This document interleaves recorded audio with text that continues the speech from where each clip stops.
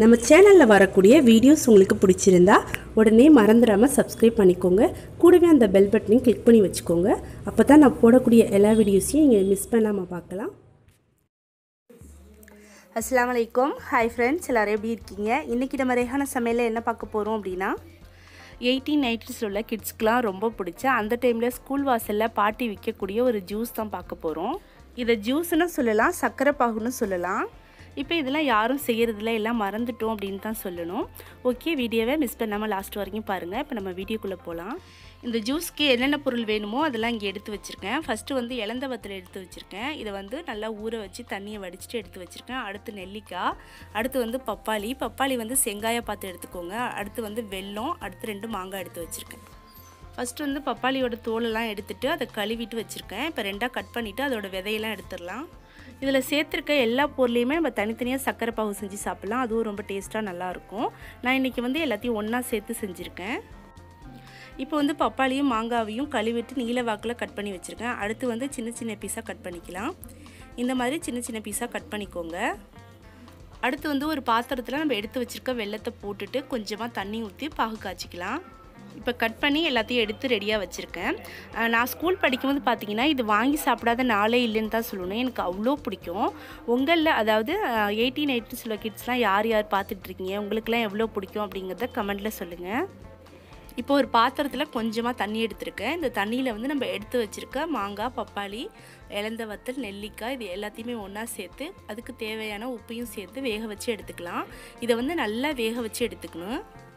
இப்போ நம்ம எல்லாருமே சொல்கிறோம் ஸ்கூல் வாசலில் வைக்கக்கூடிய தின்பண்டெல்லாம் எதுவுமே வாங்கி சாப்பிடக்கூடாது. அதில் நிறைய நோய் வரத்துக்கான வாய்ப்பு இருக்குது அப்படின்ட்டு. ஆனால் பார்த்தீங்கன்னா இப்போ ஸ்கூல் வாசலில் வைக்கக்கூடிய குச்சியைஸ் நெல்லிக்காய் இளந்த வத்தல் இது எல்லாமே நாங்கள் வாங்கி சாப்பிடுவோம்.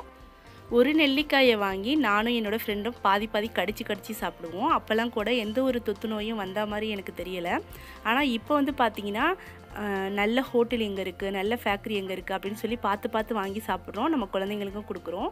ஆனால் வந்து பார்த்திங்கன்னா சீக்கிரமே நிறைய நோய் வரத்துக்கான வாய்ப்பு அதிகமாக இருக்குது இப்போது சரி ஓகே. இப்போ வந்து நம்மளுடைய சர்க்கரை பாகு பாதி அளவுக்கு ரெடி ஆகிட்டுருக்கு அடுத்து இங்கே வந்து நம்ம வேக வச்சுருக்கிறத ஓப்பன் பண்ணி பார்க்கலாம். அதுவும் வந்து ஓரளவுக்கு வெந்திருக்கு.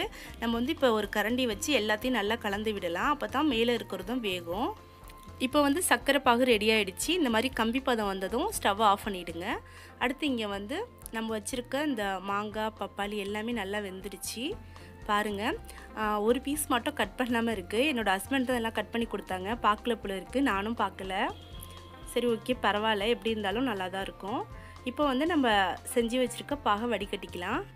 நம்ம வந்து இந்த மாங்காய் பப்பாளி நெல்லிக்காய்லாம் வேக வைக்கும் போது ரொம்ப கொஞ்சமாக தான் தண்ணி சேர்த்துக்கணும். அப்போ தான் வந்து நம்ம பாகு சேர்க்கும் போது கரெக்டாக இருக்கும். நிறைய தண்ணி சேர்த்துட்டிங்க அப்படின்னா ரொம்ப தண்ணி ஆகிடும் ஸோ பார்த்து சேர்த்துக்கோங்க. சர்க்கரை பாகு இதில் சேர்த்ததுக்கப்புறம் ஒரு கரண்டி வச்சு நல்லா கலந்து விட்டுருங்க. அடுத்து வந்து ஒரு பத்துலேருந்து இருபது நிமிஷத்துக்கு ஸ்டவ்வை சிம்மில் வச்சுட்டு அப்படியே அடுப்புலேயே வச்சுருங்க.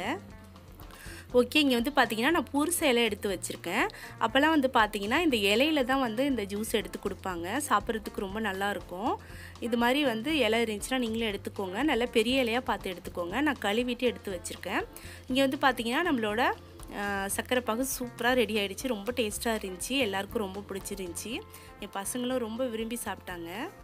இந்த ஜூஸை வந்து நம்ம இலையில தான் சாப்பிட்ணும் அப்படின்னு கிடையாது.